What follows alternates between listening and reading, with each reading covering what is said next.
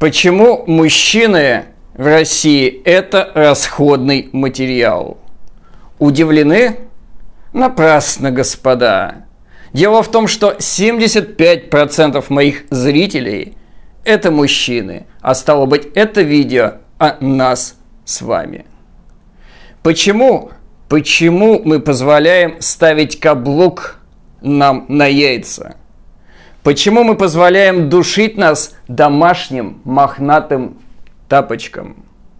Почему мы позволяем женщинам залезать вот сюда и определять то, как мы должны жить? Для начала наглядная история.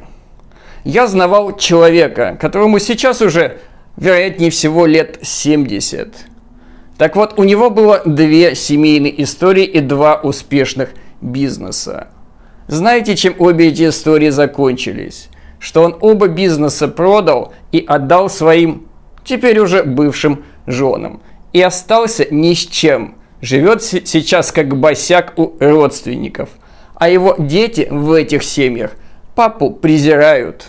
Говорит, каким же надо было быть дураком, чтобы так ошибаться с женщинами?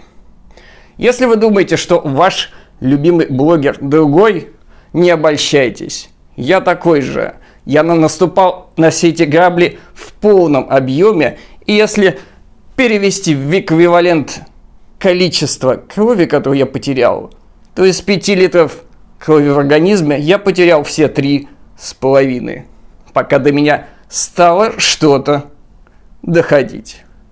Теперь ответы на вопросы – Почему же так происходит? Дело в том, что в детстве нас учат быть удобными, нас учат быть послушными, правильными, хорошо себя вести, не обижать мамочку, не обижать коллективную мамочку. Все для нее, все отдавать, надо быть паинькой, надо отказаться от себя, ни в коем случае не отстаивать себя.